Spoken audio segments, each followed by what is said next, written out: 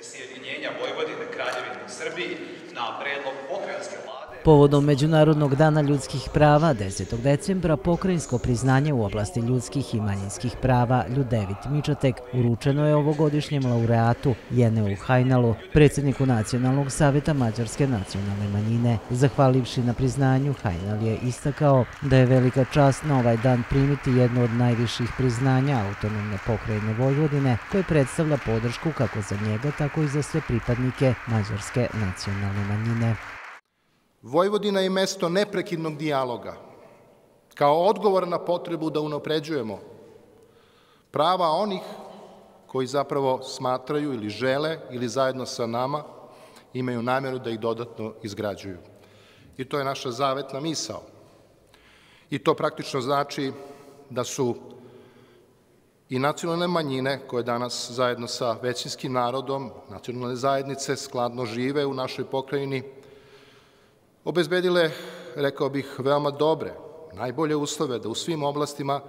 koje su za to bitne čuvaju i razvijaju svoju posebnost i svoj identitet. I još važnije,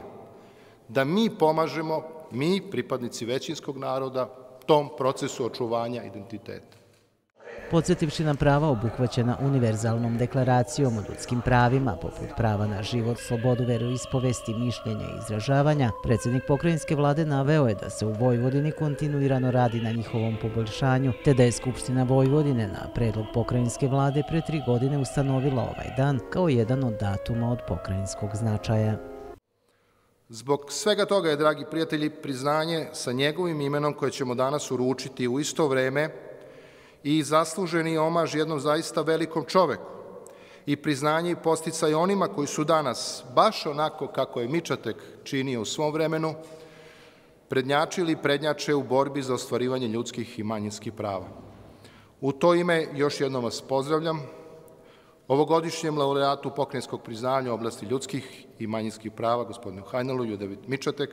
unapred od srca čestitam na zasluženoj počasti. Mirović je podsjetio da je ovo pokrajinsko priznanje koje nosi ime Ljudevita Mičoteka, čoveka koji je svoj život posvetio borbi ne samo za prava Slovaka, već i svih drugih nacionalnih manjina, zaslužan omaž velikom čoveku, ali i priznanje i posticaj onima koji danas prednjače u borbi za ostvarivanje ljudskih i manjinskih prava.